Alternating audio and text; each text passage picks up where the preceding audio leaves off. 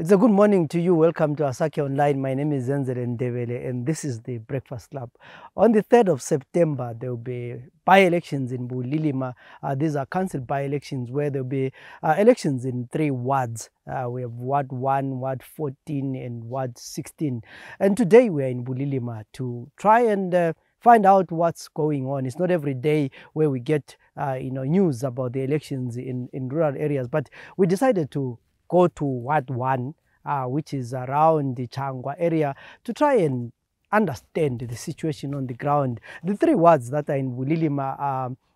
currently uh, they've been uh, or they, they, they, were won by ZANU PF in 2018. Two of the councillors, uh, one of them died, and two, uh, one resigned and the other one uh, went to the diaspora. So we are here in Changwa in Ward 1. Uh, the candidates are Kosa Mundlovu representing uh, ZANU-PF as well as uh, Moyo representing Triple C. There is also the ZAPU candidate who uh, was not around when we visited the area. So it's quite an interesting contest because uh, talking to Ephraim Moyo, he said uh, the ground is quite good, although there have been intimidation uh, threats uh, from ZANU-PF. Uh, Kosam said everything is fine, it's peaceful. So we, we talked to the two candidates. What was interesting was when we were in Ward 1 around the Changwa area, we met uh, Utogozani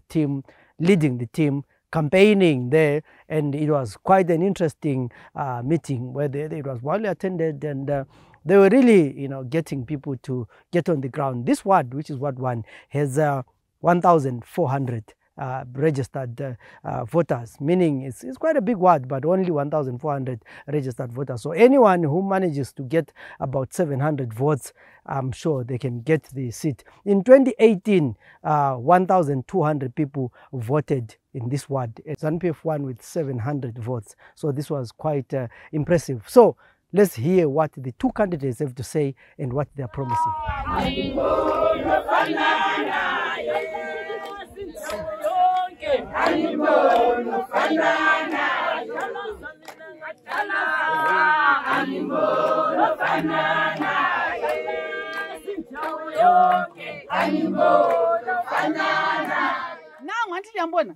kaze akasebenzi umntwaneni galandlu gala mota gala mbuzi gala nkukhu gala nkomo gala lutho alakho ngumfazi labantwana ubanikani umfazi labantwana engasebenzi engalalutho yiyona izimbabwe esiyifunayo badala abantu abeni bamoshakala behlezi la bemoshwa nguhulumende wezanu p f lo khona kathesi kodwa ubusubona umuntu esukuma siyavotela izanu p f yikwini khona lokho badala 42 years lokhe liyenza into efananayo lisithi kuzabu i-result e-different lake lakubona ngaphi yikho badala sithi kathesi kumele litshintshe kumele libe kwazi ukuthi livotelani uma lisiyavota badala livotela umntwaneni lo ukuthi abe lo msebenzi angalawo uma lisiyavota livotela umntwaneni lo ukuthi abe le ndlu angalayo uma lisiyavota livotela umntwaneni lo ukuthi indlu yakhe ibe lamanzi ibe logetsi uma lisiyavota livotela ukuthi umntwaneni lo enelise ukuthi ehambise abantwana esikolo uma lisiyavota livotela umntwaneni lo ukwenzela ukuthi uma igula labantwana behambe esibhedlela bayelatshwa basile uma livota livota ukuthi kube nemgwaqo akuhambeki lapha badala uma lisiyavota livotela ukuthi impilo zenu zitshintshe yikho eliyakuvotela khona lokhu Lizanu PF labanye laba abancane kuyafana nalokuthatha inhlanyelo uyifake edwaleni ungafaka inhlanyelo edalweni badala idotshwa zinkukhu lenyoni khathesi sicela ukuthi litshintshe badala bami asithathe nini inhlanyelethu siyifake emhlabathini ovundileyo umhlabathi ovundileyo khathesi noma abantu bayafuna noma kabafuni yi-triple c ekhokhelwa ngubabu advocate nelson chambisi yiwo kuphela umhlabathi ovundileyo yikho kumele ukuthi lihambe lefa kuxaweni khona ngayo hlaka-3 september badala kuyavota hlaka-3 september yi-warm up limzwile ukhansela ekhuluma ekuqaliseni esithi yena uyicornerstone le foundation eka-2023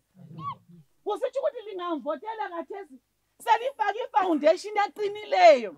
ukwenzela ukuthi uma sesiyavota ngo-2023 sivote kufoundation eqinileyo sakhe indlu eqinileyo into ezayenza ukuthi sonke sihlale kuhle sijabule sibe lempilo ezinhle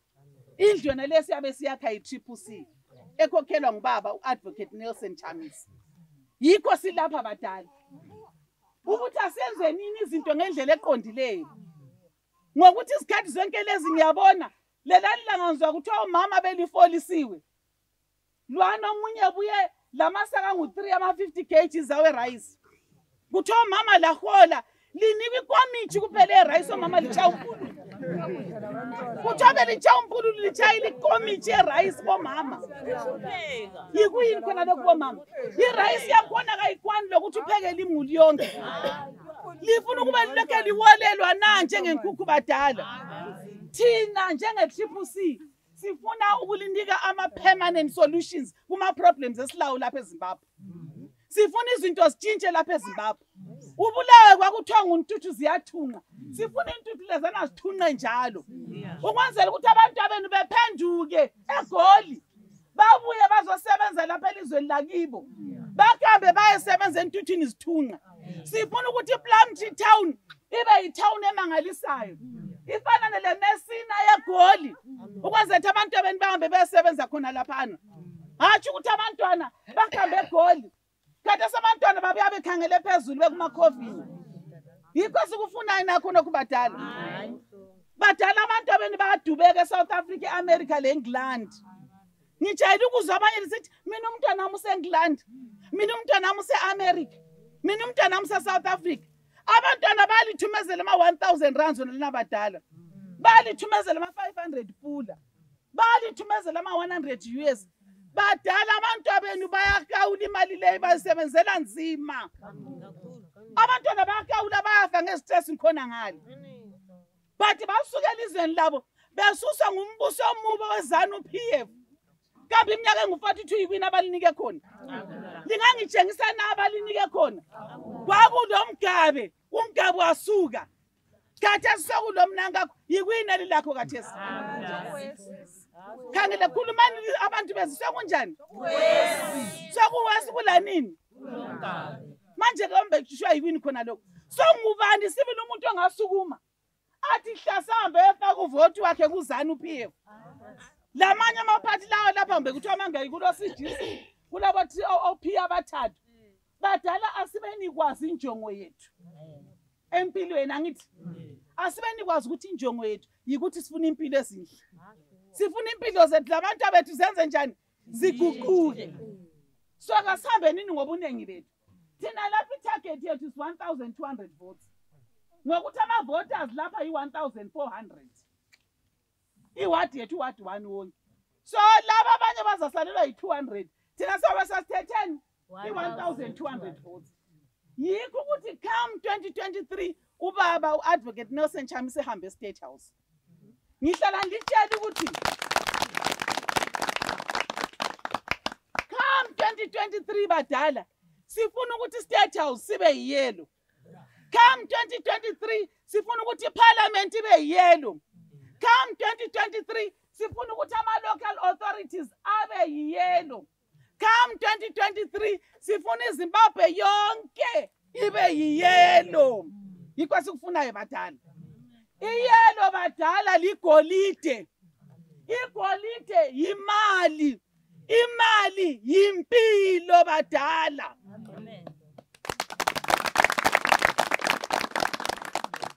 ndiyabona lapha kule ndaba khona badala ukwenzela ukuthi impilo zenu zitshintshe kumele ukuthi umkhono welizwe utshintshe angithi kodwa kathesi sizafaka ubaba u-efrem angithi sithe ubaba ufa u-efrem uthe yi-cornerstone le-foundation ka-2023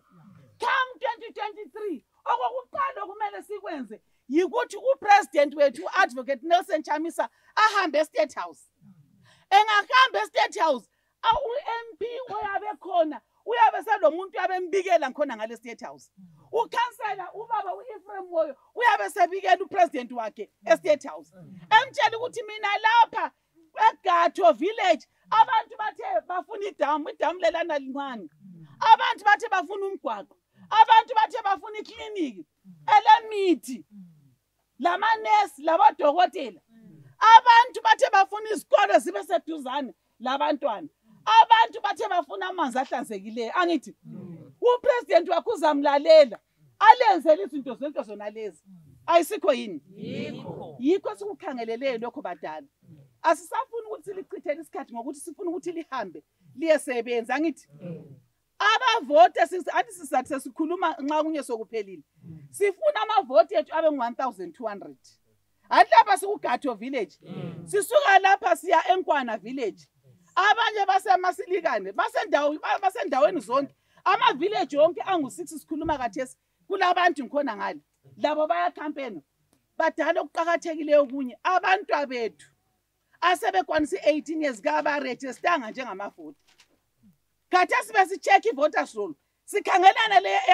ama-elections ka-3 september abantwana abaningi abale-18 years kabarejistanga ngicela ukuthi bababa labomama uma sisuka lapha namhlanje kasihambeni nemzini yethu kuqala ngomzini wakho ubona ukuthi wena lapho ohlala khona abantu bonke abasemzini akho barejistile na njengamavoti abantwana bakwanisa i-18 years barejistile na njengamavoti izihlobo zakho zirejistile na njengamavota singenza njalo yikho kuzayenza ukuthi 6 million votes ikwanise esiyifuna ngo-2023 singathola i-6 million votes upresident uchamisa sihambile estate house there's no doubt about it mhm. nxa siwina badala kufanele ukuthi siwine nge-two million votes kusiya phezulu ukwenzela ukuthi izanu siguqa phansi ngamadolo ithi hhayi lapha sidliwe sibili kodwa lingawina ngama-two hundred thousand votes kumbe ngaki kuzahamba njani bayasicila phela ngithi thina khathesi ukuze singacilwa abantu kabavote ngobuningi babo i-six million vote lenanke siyayifuna lingavota lingu-six million votes noma kuthiwani kabasoze bekwanisa ukuqina la ngizwa ukuthi ngithini khangelani nokwenzakala ezambia amazambians bambe bayavota khangelani nokwenzakalayo khathesi izambian kwacha isistronger than i-south african rand imisebenzi eminingi icreatiwe ama-youth asesebenza abangasebenzi yosebeyenza ama-projects le ngizi ukuthi ngithini impilo zabantu seziguqukile badala amandla asezandleni zenu ukuthi litshintshe izinto izinto ziguqulwa yini badala yini elile control eyokutshintsha izinto izinto yini elikwanisa ukudefina idestiny yenu lisebenzisani izandla zenu amandla angaphi badala asezandleni zenu amandla akuxaye nalwana uhamba ukuyamfaka nxa ufaka uxaye njengoba ngikhulumile uvotela umsebenzi wabantwana uvotela imithi ezibhedlela uvotela izikole ezilamabhuku lamatitshara uvotela ukuthi amatitsha lamadokotela labantu bakho abasebenzayo behole ihole eleneleyo uvotela ukuthi impilo zethu zenze njani zitshintshe kulalabana badala abangahambi ukuyarejista labangavotile liyalwazi udubo labo ukuthi ngolwani ngelokuthi uzayekela abanye abantu bazakukhethela bona ukuthi ngubani ongenayo nxa sebekukhethele bona ukuthi umbani ongenayo wena for five years uyabukhethela umuntu ongamfuniyo njengakhona lokho kukhona kathesi i-five years kasisokoli yini badala so nifuna ukusokola futhi khathesi hambani liyeguduza abantwana benu ezindlini hambani liyeguduza izihlobo zenu aziguduzenini wonke umuntu sonke sithi hlasi siyevota angithi yikho sithi 2023 6 million votes 2023 sonke hlasi siyevota 2023 chamisa kuphela kuphela 2023 kangene ujaha kangene ijaha kumele lingene ngempela ngo-2023 ukwenzela ukuthi impilo zethu zenze njani kodwa mhla ka-3 september sihamba ukuya leyi foundation angithi sesisiya leyi foundation mm. eka-2023 yikho kuqakathekile ukuthi ubaba u-efrem moyo ijaha leli lingene ekhansilini angithi lilizwile liyakhuluma yindoda emadodeni hambanini liyemvotela ubaba ubaba uzaliyenzela izinto elizifunayo ulitshelile ukuthi uma lisiyavota liyabe li-analyze ukuthi kanti lo kade ekhona for five years usenzeleni usifakele yini idibha usifakele yini umgwaqo usifakele yini iklinikhi so liyambisela ukuthi uyenzeni so kumele litshintshe phela lifake lowo mutsha libone ukuthi uzalenzelani khathesi ngilethemba lokuthi lonke lilapha sonke sizakuthi hlasi siyevotela ubaba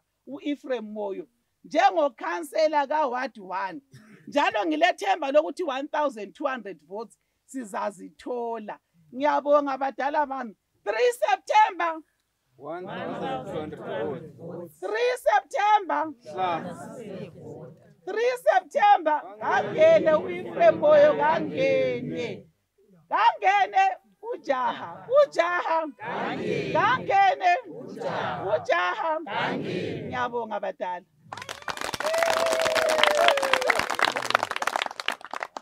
mina ngizalele echangwa ngo-1968 14 january 1968 ngifunde khona lapha echangwa i-primary yami e-secondary education yenze khona apha isikole lesi sivulwe yithi sene-secondary eh siphuma primary lapha eh hayi ngafunda ke kanjalo kuthe ukufundeni kwami ngasuka lapho ngadinga ama- ama green pastures e South Africa njengoba like millions of other fellow Zimbabweans singela msebenzi ngasuka ngakhona ngale ilizwe labe sabe silokhu silibona ilizwe lisinka everyday lisinka ilizwe lithe lisinka hayi lami khona ngale ngaze ngagcina ngikhathala kodwa silokhu sithi hayi sifuna utshintsho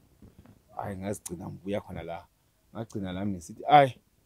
akuthi ngike ngingene khona lapha ebhasini yena le efuna e-, efuna inguquko angena ke abantu baye basithi hayi sicela usimele eh ukuba ukhansile khona lapha hayi ngase ngisithi hayi uma ukhethwe ngabantu akukho into ongayenza ngavuma kuvuma khona lokho hayi kwaba njalo saqhubeka impela sikhampena kahle abantu besitshela indubo zawo besho ukuthi hayi ilizwe ilizwe lichabalele emehlweni ethu silibhekile hawu kwaba njalo abantu bayasithanda abantwana bahlupheka abantwana bavukela amabhawa everyday i-youth especially youth ivukela amabhawa ayila anything to do ah kwaba kanjalo ngempela sihit iground okumangalisayo abantu basithanda ababonisa support enkulu and lokho kuma opponent ethu eh, eh ayizanu PF eh kusho ukuthi kuyi threat it's like peppering a, a fresh wound ngoba okwenzakala izolo the latest bengekho bense Plumtree eh kuye kwafika eh uMP ehamba lama wovethi bafika fortunate enough bengise Plumtree ngekho bafika bathi khona eh mangifuna impilo yami angiyeke lokho engikwenzayo eh khona manje nje eh angisalala emzini wami fearing for life yami so ke ngibuze lapho ukuze ukuthi sikuzwisise sibili uMP ubekhona yena ngokwakhe kumbe bengabantu eh actually imoto yakhe was identified eh was identified ngabantu but amahhoveti we can even name them baqambe babuthi ngobani amahhoveti lawa eh amahhoveti engwatshelwe ngitshelwe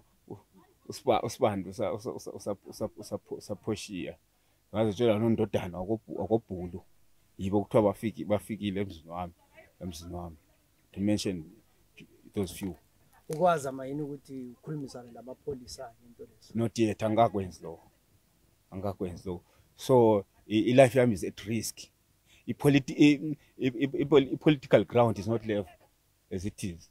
because the state ilama resources wonke to intimidate ama opponents ayo so i don't know ukuthi singa address kanjani issue leyo if you can help guys Yeah. yeah, so besakhuluma lapha ngo-2018 ucontestile yini no no no no no my first time i first time yakho yeah. yeah so ubona ngani kuyini osukwenzile wena osokwenza abantu bezanu bekwethusele eh eh ay kahle kahle eh mina le eh, hold culture garden emzini wami eh kusho ukuthi i'm helping the, the the the poorest of the poor here and there kusho ukuthi eh by so doing attractor ile who's uh, in multitude the support ebantwini manje babona ukuthi kona kusho ukuthi eh i support base ya yabo iyaphela yabo ngoba into engiyibona abakaze bebe le le le, le, le threat file la le up to now yikho sokwenza benze kanjalo kusho ukuthi sebehlulekile ukuthi kona eh ngoba they, they've been tested wabonakala ukuthi no lento abayikhulumayo ayenzakali eh ungavotelwa lapho ukuthi bengukhansila kuyini wena odunga ukutshintsha esigabeni oh quite a lot eh okwakuqala mina eh ngi humble servant ye community le khonoko ama issues abahluphayo yibo abazabe bezendithuma bethi Mr Moyo sifuna lokhu la lokhu mina ngizasebenza labo kanjalo kodwa ke ama challenges esilawo lapha maningi kakhulu ngabala isilanga lingashona i road network is very poor eklinika e-, eklinika akula mithi ezibhedlela akula akula mithi yonke into infrastructure vele yabona eh, is not up to scratch uwakhuluma ukuthi ayi abancane laba bavukela emabhawa um bayaparticipate yini ekurejisteni ukuvota lapha abasakhula ye yeah, but baparticipate but um not, not, not ngespeed thina esisikhangelele njalo esisifunayo so bafuna bafuna ukuphutshwa ngoba bona bafuna iplate isiphakululiwe yohakhulunywa lapha kumeeting ukuthi iwadi le le iwadi one mm. ilama-voters ayi-one thousand four hundred kuphela okuyinamba entutshwana iwadi yona inkulu okunganani ikhava apha ama-areas khavu inkwana village gatho siephi malisikwana manyewu jama six villages inkulu kakhulu impela inkulu kakhulu kodwa kulabantu abayi 1400 kube ah no ama ama registered voters only yeah ngithe ama registered voters yindaba kulabantu abalutho eh, abaregistered lokho kwenziwa ukuthi abantu abantu bakhithi abakafundiswa i-purpose yokuvota abakafundiswa they are not i-reason yokuthi why bevote abachazelwe abayazi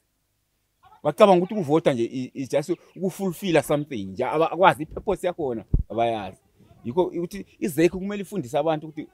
why you have to go and vote izec is not doing enough to address those issues so eh, wekathesi li- li- phakathi kwecampaign ikuhambela njani icampaign yakho iwapha ama- uyayenza amarali licampaigna njani ke lapho? eh siyayenza amarali silama door to door campaign campaign so far so good i-campaign it is going smoothly Yeah, and, and until of, until what happened was that day. Eh, bona ngani ungayiwina le city. There's no doubt about that. I'm, I'm, I'm, I'm, I'm gonna be the councillor on the 3rd of September, definitely. Okay. Nxa kulomuntu asithi kulomuntu ke ubesangakacabangisi sikuhle ukuthi evotele bani wena njengo Ephraim ungasitshela ukuthi kuyini abantu bemele indaba abantu bemele bekuvotele. eh isi eh kumele uma mvoti iCV iCV yami kwabangazi yazi yazi yazi yazikhulumela yazikhulumela ukuthi nginceda kanjani ama villagers ama neighbors ami iCV yami iyakuchaza konke lokho ye kuyini okunye wakutsho ebantwini abangakwaziyo abangasomakhelwane bakho abangasoma omakhelwane bami hayi ngithi hayi abasincedise baza kubona lokho okuhle sibathembisa khona the test of the pudding is, is in the eating so laphana ngithi ababuye bezozibonela engikwenzayo bebuze laba abangaziyo abakwaziyo lokho engikwenzayo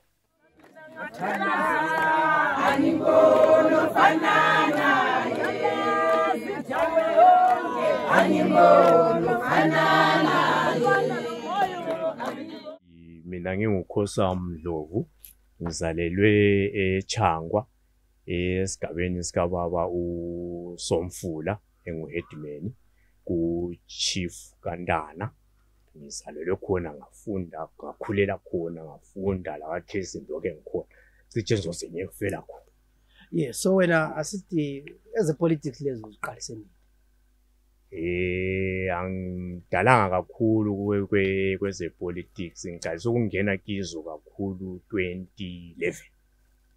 Yes so kathesi ukhampeni oluba ngukhansila yes. uh, owe owe wadi wadi wadi wadi wani under zanu pf ungase ukuthi okwenze kwa decide ukuthi hayi mina sengivuma ngikhansela lapha kuyini alright eh eh empeleni akusimi engizidecideleyo ukuthi ngifuna ukuba ngukhansela hayi bekungekho nje kuma plans wami okwami nje bekuyikusebenza nje ngincedisa i-community lapha lalapha abafuna ukusizakala khona um as voluntary but then kwaba ngabantu yona i-community yakithi yiyo engi-approachileyo yathi yacela ukuthi ngibamele njengoba kulesikhundla i mean kule vacancy kakhansi um eh. so kuyini abakubonileyo wena ubona ngani baboneni kuwe okwenze bathi hayi ngena Eh ngibona ngani bananzelele nje kakhulu imisebenzi emihle kakhulukazi ethinta yona i-community ebengisebenza sibambene imisebenzi nje ukuthuthukisa isigaba imisebenzi nje ukusebenza njalo sibancedisa lapho abantu ababebaxakeka khona sibancedisa ukuthi nje impilo iqhubeke abantu bengathwali nzima bebodwa but sizama nje ukubabumbanisa sibahlanganisa njengabahlali besigaba ukuthi into uwedwa ngesinye isikhathi ngakwehlula but uma selibaningi liyakwanisa ukuthi into lidlulise noma lincedisane iphumelele uyakhuluma ngama-projects lezinto ezenziwa kuyini okubambekayo ngathi thina hhayi etshangu wasenza lokhu nalokhu yiwaphi ama-projects eliwenza lapho elincedisa khona abantu okay ama-project engibe-involved kiwo kakhulukazi kuledamu ebesilivala laphana bengiyi-one of ama-committee members angikhona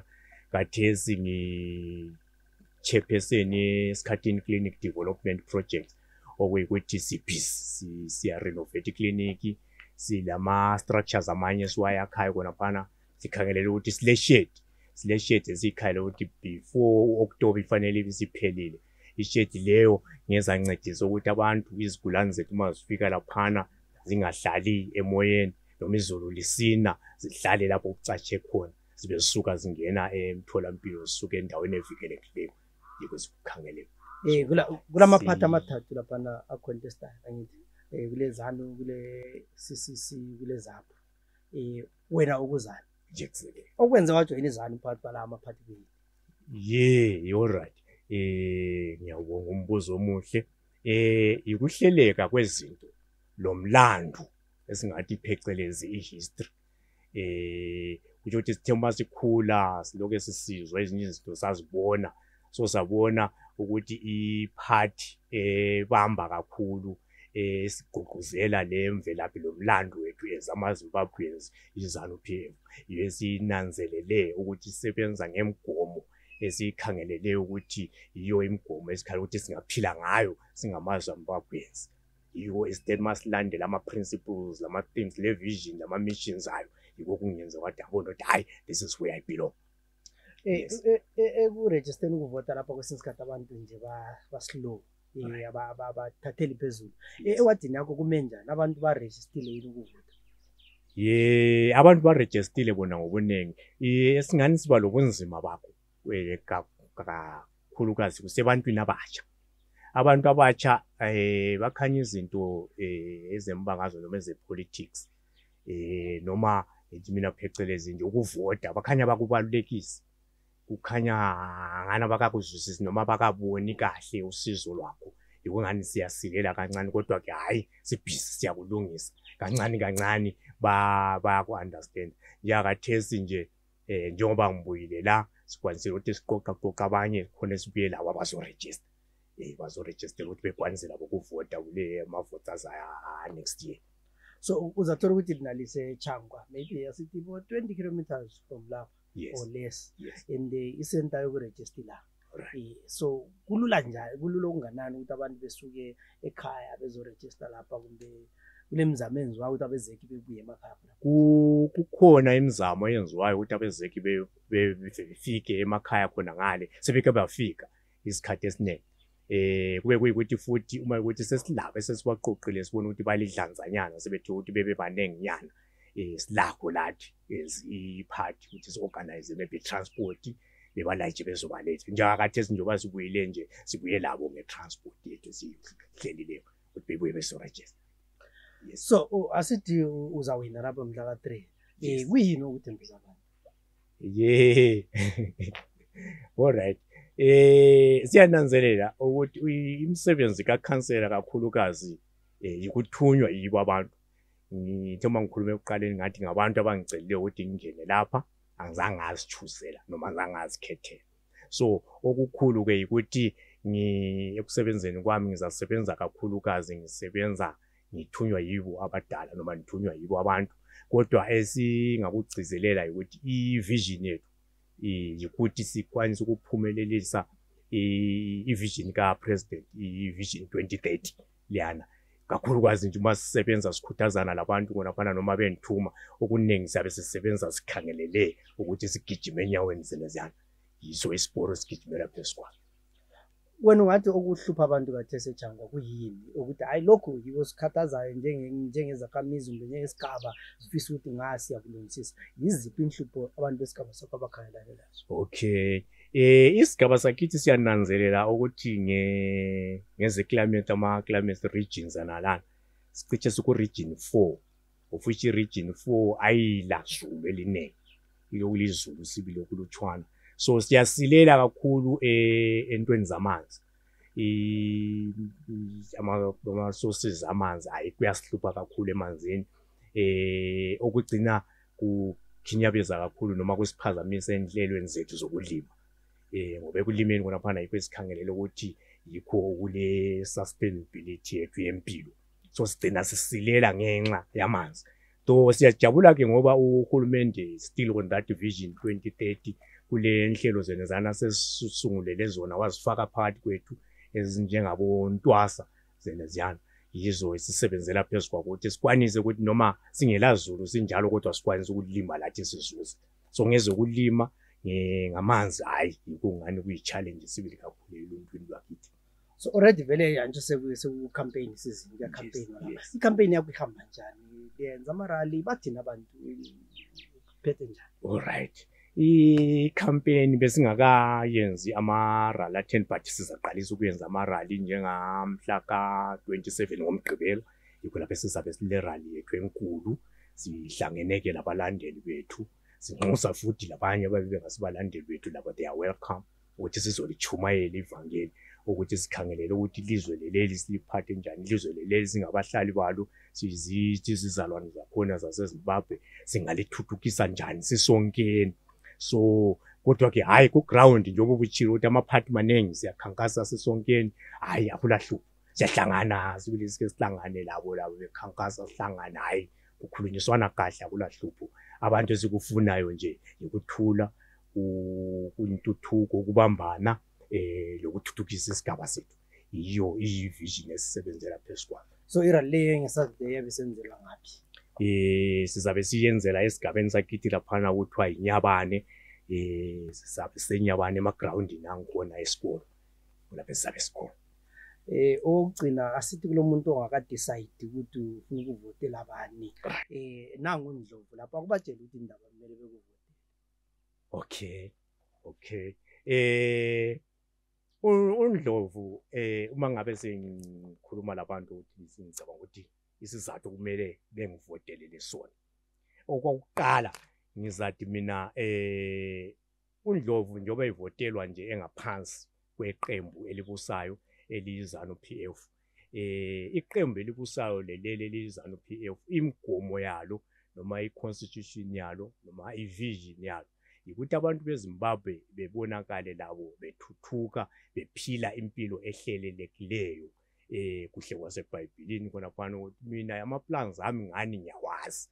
okungamaplans okuliphilisayo okulibhubhisa so siyabe sisebenzela khona phana ukuthi inhlelo zenenzi eziye zephathi ethu ekusayo izanu p f zinhlelo zokuthi sizithuthukise siphile impilo epheleleyo singaphili impilo leyana eshotayo eh, yamahafuhafu eh nginjalo ke futhi ngingundlovu engingabakhuthaza kona ukuthi undlovu eh ngumuntu okukhuthalele vele ukusebenza ngokuzinikela isikhathi esiningi ku-community khonokho kule mlando yakhona ebalulekayo ebalekayo esingayibala ukuthi hhayi undlovu uthi kwayenza lokhwana esigabeni wayenza lokhwana esigabeni ngokuzinikela so uma bengabe bemvotela babe be-restore steward ukuthi undlovu bencedisana laye engazisebenzele yedwa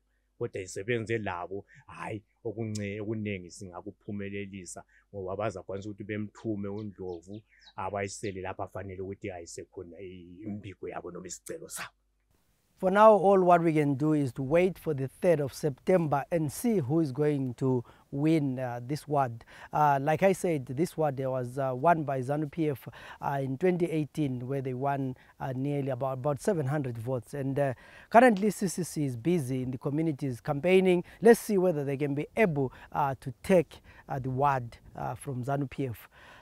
My name is Zenzele Ndebele. Till we meet again in other programs, have a good day.